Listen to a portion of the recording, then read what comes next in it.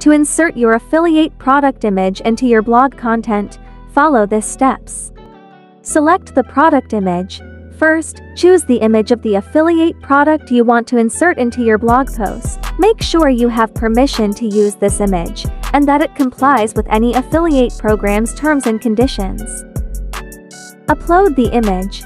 If the image is not already on your website or blog, upload it to your web hosting server or a cloud storage service that allows hotlinking directly linking to the image URL.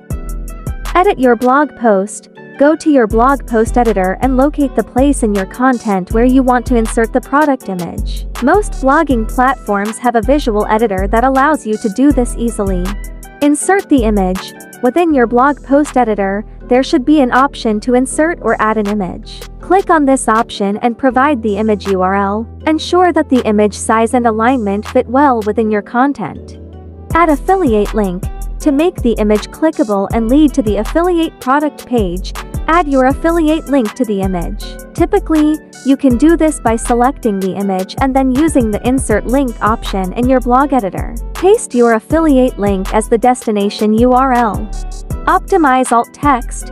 For SEO and accessibility, provide descriptive alt text for the image. This alt text should briefly describe the product or image content. Preview and save. Preview your blog post to ensure the image is displayed correctly. Once you're satisfied, save or publish your blog post. Test the affiliate link. After publishing, test the affiliate link to make sure it redirects to the product page with your affiliate tracking code intact. This ensures you get credit for referrals. Disclosure.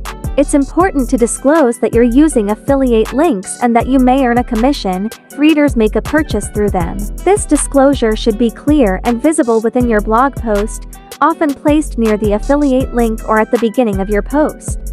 Monitor performance. Keep track of the performance of your affiliate links and product promotions to see which ones are effective and if any adjustments are needed. Remember to always abide by the terms and conditions of the affiliate program you're a part of, and ensure that your blog content provides genuine value to your readers in addition to promoting affiliate products. Thank you for watching.